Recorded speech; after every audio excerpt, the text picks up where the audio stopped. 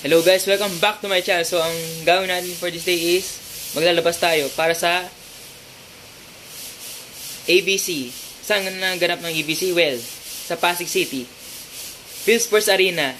So what you made for? Tara, samahan niyo ako. Hi, I'm Paul Matthew B. Sumer. I was diagnosed with autism, and I'm also part of the Autism Society Philippines. That is filled with great and wonderful people that give people with disabilities a chance to fit in with the rest of the society. I love to work out, playing basketball, eat lots and lots of food. Now I'm also getting into vlogging. I hope you enjoy this video.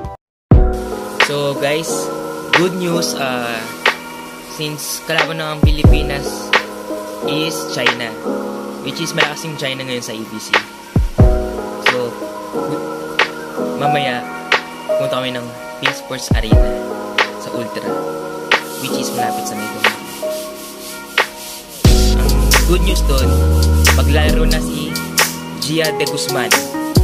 And the bad news is, wala si Eliza Valdez due to dengue. So, it wills mo kay Eliza Valdez. Kailangan mo na para kay Eliza to. Laban Pilipinas. Can win this one. Go clean rin Pilipinas. Laban, laban lang. Bring the good vibes all the way. So guys, ah,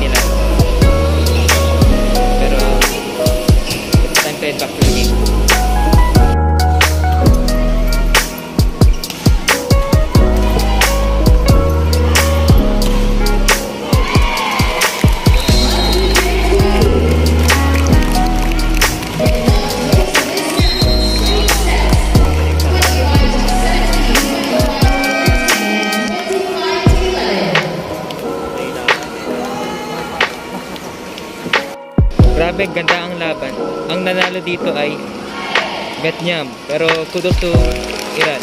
Good game. Super lang lakas ang Vietnam ngayon para sa ABC. Up next, the main event. Philippines versus China. Let's go Philippines for the flag. Woo! Woo!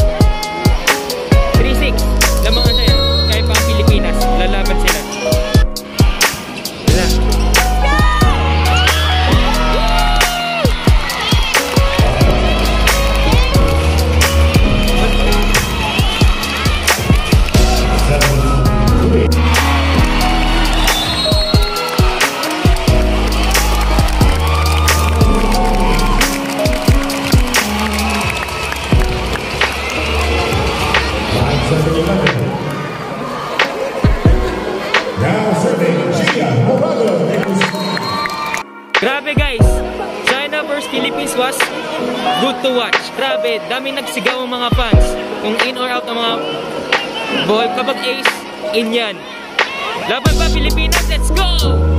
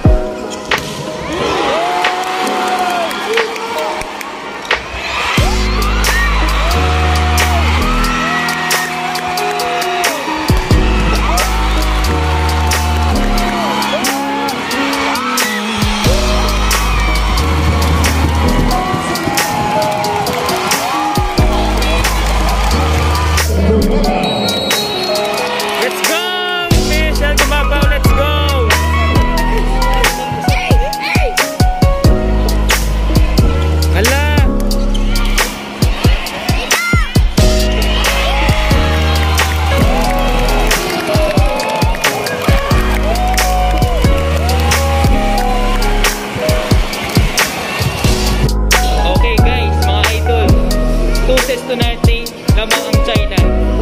Babawi pa tayo. Third set. We will do this. Laban Pilipinas. Fight, fight, fight. Laban lang.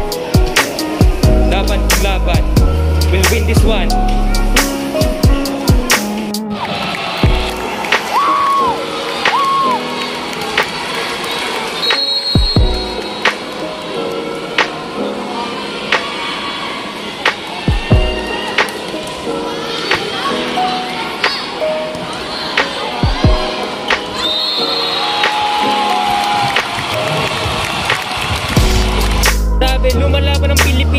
Grabe, labang na sila. 16-14 lamang ang Pilipinas. So, abang natin kung maka-fourth set pa tayo o fifth set. Tingnan natin kung makaka-comeback sila. Let's pray and let's win this one.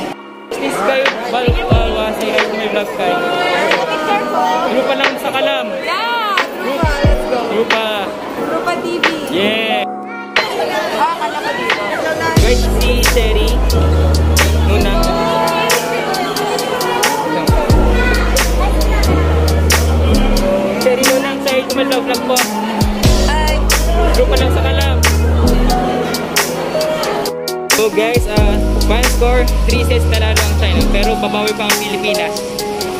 Win or lose, to be our country. Make the country proud, Pilipinas. Pilipinas will be the best among the rest. Hello guys, thanks for watching till the end. Remember to like, share, leave a comment down below, subscribe if you're not already, ring that notification bell, stay tuned for my next video. This is Matt signing out.